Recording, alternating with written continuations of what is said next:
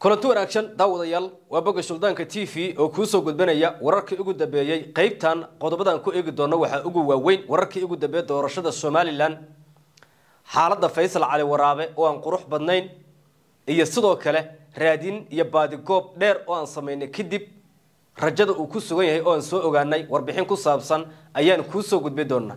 Waxaan sidoo kale eegi doonaa xiisadii axmed madoobe iyo dowladda dhexe soomaaliya miyaa hoos loo dhigay odayaasha dhaqankii xalay kismaayo kulanka kula qaata madaxweynaha jubbaland iyo fariinta ay gaarsiiyeen macluumaad ku saabsan ayaan faahfaahi doonaa waxaan sidoo kale muuqaalkan ku faahfaahi doonaa xasan cali khayre sheekh shariif iyo cabdiraxmaan cabdishakuur oo toddobaadkan kulan gaara ku yeelanaya magaalada nairobi ee dalka kenya.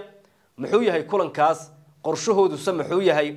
Maxaase ka jira? Warka sheegaya in muqdisho ay ka abaabulayaan waxaan sidoo kale eegi doonaa culeys xoogan oo dhinaca villa waa dhinaca baarlamaanka labadiisa aqal ka soo fuulay villa soomaaliya. Heshiiskii doorashada iyo halkii bil ee uu codsaday madaxweynaha soomaaliya oo doodo xoogan ay ka yimaadeen xilli baarlamaanka ololo xoogan ay ka dhex bilowdeen oo lagu diidaya heshiiska. Qodobadan ayaa ku faahfaahi doona muuqaalkan sheergareeya waa muhiim inaad like saartid haddii aad awoodid weeyaan. Soo dhawaad qodobkeena koowaad ayaan ku bilaabayaa daawadayaal doorashada somalilan ayaan marka hore eegeynaa wararka na soo xigana warbixino kaloo muhiima noo maqan ayaan ku eegi doonaa xaaladda faysal cali waraabe ayaan raadinay. Xalay ilaa shalay. Dabcan xisbigii ucid ee ururka noqday ee xisbiga u soo gudbayana nambarka uu joogo aan ognahay. Madaxtinimadii markaasi faysal cali waraabe uu raadinaya nambarka uu ka joogo aan ognahay. Yacni odaguna muddooyinkii dambe uu ku hanjabayay haddii laga guuleysto yani horta inaan laga guuleysanin ayaa halheeskiisa koobaad ahaa meeqamar ayaan dhacay waan guuleysanaya qoraxda faysal cali waraabe ayaa ahayd. Waxaan la xiriirnay xubno ku sugan magaalada hargeysa ee caasimada somalilan oo ka tirsan xisbiga ucid weliba tiimkii ololaha u qaabilsanaa faysal ka mid a. Waxay noo sheegeen odagu inuu jahwareer galay markii hore laakiin hadda xaaladiisu ay fiican tahay kaniiniyaal badan uu cuno kadib sababtay taa faysal doorashadii labada kun toddobiyo tobankii number fiican ayuu ka galay oo natiijo fiican oo u qalantay yani xisbigiisa iyo musharaxnimadiisa ayuu keenay laakiin doorashadan waxaan u qalmin yani odaytinimadiisa nabadoonnimadiisa iyo sidoo kale ololihii uu galay intaba iyo fariimihii uu diray wax ka duwan ayaa yimid. Sababtay ta wuxuu soo dhaafi layahay zero bonty seven. Ayuu soo dhaafi laya waa zero bonty three saddex kun afar kunoo cod ayuu dhaafi layaa faysal hadda waa malaayiinta qof ee codaynaysa. Waxyaabaha kale marka odaga naxdinta u keenay waxaa ka mid a yacni ucid mashruuc ayuu ku raadsan jiray oo xisbi ayuu ahaa. Dadka reer soomaaliya way ogyihiin inaan la dooranayn isagana inuu doorasho ku guulaysanan way ogaayeen laakiin meeshaa mashruucay u ahayd lacaguu ku heli jiray dhaqaalo lagu sii jiray dhinaca dowladda ha noqoto haydo kala duwan ha noqoto mashaariicuu ku heli jiray oo kab dhaqaale ayaa uga soo xaroo jiray. Meesha marka faysal marka afar mar ayuu doorashada ku soo guulaysto waxba lama ahayn oo waa taagnaa. Laakiin niyajabka wuxuu ka yimid ururkiisii la reebay. Meesha niyajabka uu ka yimid oo faysal xaaladiisa hadda lale kaniiniyaal badan ayuu cunayaa oo dejiyaal ah aba qaboojiye ah oo dhiig inuu ku kaca laga cabsi qabaa yani waa in ururkiisa laga reebo doorashada sababtoo aad u xanuun badan tahay. Nin afar mar soo tartamay ee urur xoogan lahaa cambaign samay jiray ee hadal heeskiisu warkiisu banaanka yiilay oo war mujaamala weligiis aan ku hadlin. Yani in ururkiisii la reebo xoogo ma qurux badnayn. Inkastoo cod lagu kala baxayay oo sida loo kala cod badan yahay loo kala guulaysanayay haddana faysal oday soomaaliyeed ayuu ahaa ayay leeyihiin dadka markaasi taageera siyaasadiisa waaya qodobkaas halkaasaan ugu gudbayaa wararka doorashada wararkan wararka ku xiga ayaan ku faaqidi doonaa oo markaasi xogo xasaasiya soo baxaya hadda oo aan markaasi xaqiijin nooga baahan oo kaliya oo aan rabno inaan markaa xaqiijino kadib warkan warka ku xiga aan ku baahi doono soo dhawaad. Qodobkeena xiga xiisadii axmedoobe dowladda dhexe soomaaliya miyaa hoos loo dhigay? Maxaase ka naqaanaa ragga dhexdhexaadinta wada maxamed cabdi afey maxbuub macalin iyo colow oo ragga markaasi loo xil saaray arrintaa natiijo inay ka keenaan horey waxaan u sheegnay xalay wararkaynu baahinay in natiijo hordhaca laga gaaray oo ciidamadii la kala ilaan ciidamada nimanku isku diyaarsadeen dadku maba ogeynba. Xamsana saddex boqol oo askari ayuu diyaarsaday oo haram cad iyo nabad sugid iyo military isugu jira. Axmedna hubka diyaaradaha lidka ayuu soo dhigay garoonka diyaaradaha sayid maxamed cabdulla xasan. Ciidankii waa la kala qaaday oo dibaa loo kala qaaday waxaana la leeyahay xiisada hoosa loo dhigay hadda garoonka diyaaradaha kismaayo ayaan sida wararkeena horeba ku sheegnay laga raray ciidankii xooganaa yiilay ee colaada muujinayay. Ra'iisul wasaare ayaa sidoo kale la sheegay inuu si buuxda ugu markaasi baaqday safar uu ku tegi lahaa magaalada kismaayo kaasoo maalmihii la soo dhaafo uu markaasi ka baaqday kadib markii hogaamiyaha jubbaland uu yidhi waan soo ridayaa diyaaradda ra'iisul wasaaruhu haddii uu yimaado weeyaan. Sababtay tahay xamsoo kismaayo tagay in doorasho laga qabto nabada kismaayo way adkeed xogahaana helnay waxay sheegayaan in la kala diray xeryihii ciidanka dib loogu celiyey ugu yaraan saddex boqol oo askari oo loo qorsheeyay in ra'iisul wasaaraha ay geeyaan magaalada kismaayo.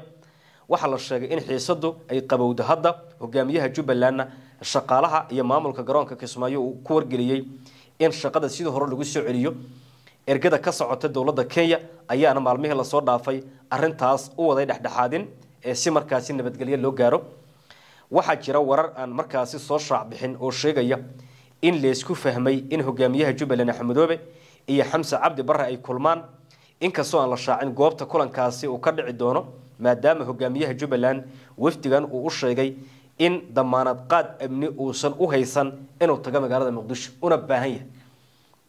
Ma iyagaa marka u damaanad qaaday inay soo dhaweeyaan oo amnigiisa la wareegaan mise goob kale lagu kulmaya xubnaha wafdiga ee ka yimid dalka kenya ayaa doonaya in labada dhinac aysan markaasi la kala safan balse ay gaaraan xal rasmiya. Sida ay noo xaqiijiyeen siyaasiyiin xogogaala oo wada hadalladan garwadayn markaasi qaarkood ay qayb ka ahayeen dowladda dhexe soomaaliya iyo jubbaland ayaa isku haystay khilaaf ka bilowday arrimaha doorashooyinka. Axmedoobe ayaa diiday in dalka loo jihiyo doorasho qof iyo coda isagoo sidoo kale taas ee dadban ka doorbiday doorasho qof iyo coda soomaaliyana ka dhacda wafdigan ka socda kenya ayaa la sheegay in madaxweynaha jubbaland ay markaasi ka dalbadeen in dhaqdhaqaaqa doorashada uu joojiyo inta xiisadan xal laga gaarayo iyo sidoo kale inta go'aanka ugu dambe iyagu ay ku soo wargelinayaan. Yacni inay gacanta ka taagaan arrimahan iyo inay xal u keenaan. Labadaas qodob ayuu markaasi ayay u soo jeediyeen. Xalay madaxtooyada qasriga kismaayo waxaa ka dhacay kulan dhex maray qaar ka mid a odayaasha dhaqanka iyo madaxweynaha jubbaland kulankaas axmed maxamed islaam ayaa qaabilay wafdi uu hogaaminayo suldaan jaamac nin lagu magacaabo oo si weyn uga aragti duwanaa jiray axmedoobe suldaankan iyo odayaal la socday ayaana gaaray kismaayo si ay u taageeraan siyaasadda axmedoobe halkaas ayay hadda ku sugan yihiin xalayna kulamo culus ayaa dhacay. Waxaana diiradda lagu saaray kulamadaas inay yihiin kulamo loogu talagalay yani odaga inuu taageero ka helo dhinac walba. Raggii xitaa diidanaa inay wax ka soo dhisaan maxaan ka naqaanaa marka raggan ergada ah yacni axmed kalsooni intee leeg ayuu ku qabaa su-aasha waxay tahay dad badan ay isweydiinayaan axmed madaxweyne xasan sheekh oo war ka diiday ergeyga qaramada midoobe oo war ka diiday wakiilka midowda yurub oo war ka diiday yacni beesha caalamka markaa isku qabta war uu ka diiday culamaauddiinkii war uu ka diiday ra-iisul wasaarihii war uu ka diiday su-aashu marka waxay tahay maxamed cabdi afeye maxbuub macalin yacni ninkan kalsooni nooce ayuu ku qabaa. Nin ra'iisul wasaarihiisii iyo madaxweynihiisii dhegaysa waayey. Yacni ninkan doodo badana ka yimid arrintan. Waxaan rabaa ergadan ka socotay dowladda kenya oo ku soo baxay khilaafkan weliba codsiga waxaa diray villa soomaaliya markii madaxweyne uu tegay magaalada nairobi ee dalka kenya ayuu dalbaday in arrintaasi laga odayeeyo. Waa siyaasiyiin horay xilal uga soo qabtay raggan markaasi kenya iyo xubno hadda ah mas'uuliyiin ka haya ee dalkaas waxayna sidoo kale dhexda u xirteen sidii khilaafkan si qabiil iyo si siyaasadeed bal markaasi loo dhamay karo. Sababtay taa raggan axmed ay ku qabiil yihiin iyo xamse. Qabiil waxaan ula jeedaa beesha absamay ka soo wada jeedaan. Maxamed cabdi afey maxbuub macalin iyo cabdiraxmaan cali xasan culow waa markaasi saddexda nin oo ah siyaasiyiin rigo وكسو بحي غلاف كدولة دحاء يجبلان السدوك له وحل الشيء إن وفتجان كسر ده كان يأي قيب وكي هاي آه تليه هرة وأنا راد تليها الصب وتليها سردون كذلك كي نور الدين حاجي وهذا لكن وركو الشيء إنه دبوا الله تذلك كي دنجر محمد عبد أفي وسياسي كسر جيدا كينيا هرين حلال كل الدوان وقصو قبتي دولة كينيا وحكم ده هالسد حتى شخصي اللي جو أركي صور ردو ده كلامه أي ليشان ra'iisul wasaaraha soomaaliya xamse cabdi bare madaxweynaha jubbaland axmedoobe sidoo kale danjire maxbuub macalin ayaa ka mid a ragga qeybta ka qaadanaya dhexdhexaadinta kaasoo horay xil weyn uga soo qabtay dowladda kenya iyo gobolkaba waa siyaasi soomaali kenyana oo ka soo jeeda gobolka waqooyi bari ee kenya n f d soddon sano muddo ku siman. Waxuu ahaa shaqaalo dowladeed isagoo soo qabtay xilal ay ka mid ahaayeen xogayaha joogtada ee wasaaradda biyaha iyo waraabka kenya sidoo kale danjire maxbuub macalin wuxuu soo noqday xoghayihii shanaad ee ururka waa urur goboleedka igaad. Xilkaas ayaa loo doortay sannadkii labada kun sideedii isagoo sidoo kale hayay ilaa labada kun sagaaliyo tobankii. Wuxuuna door weyn ka ciyaari jiray xalinta khilaafaadka gobolka sida dadka arrimaha gobolka ka faallooda ay markaasi sheegeen.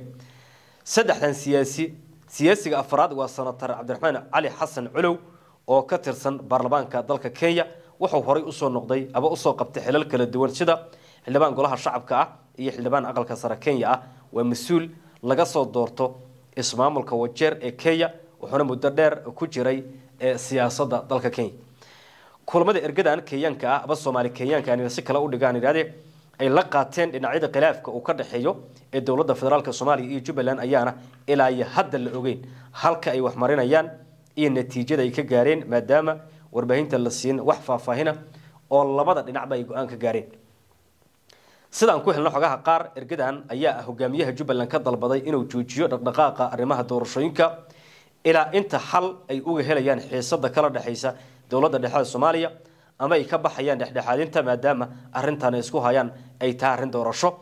Intaasi kadib waxay yimaadeen muqdisho waxayna la kulmeen ra'iisul wasaare xamse cabdi bare sida uu shaaciye xafiiska ra'iisul wasaaraha.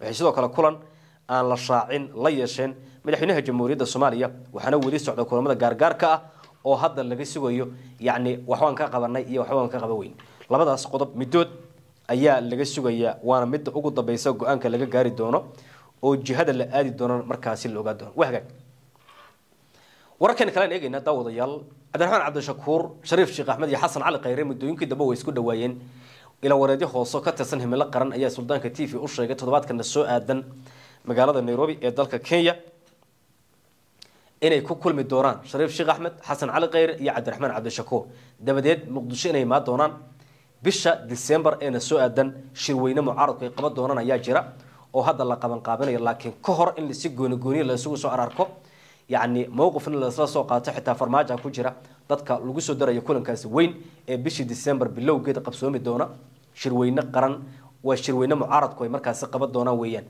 oo xaaladda dalka jihada la aadayo iyo meesha xaaladdu ay taagan tahay lagu markaasi qiimey doono.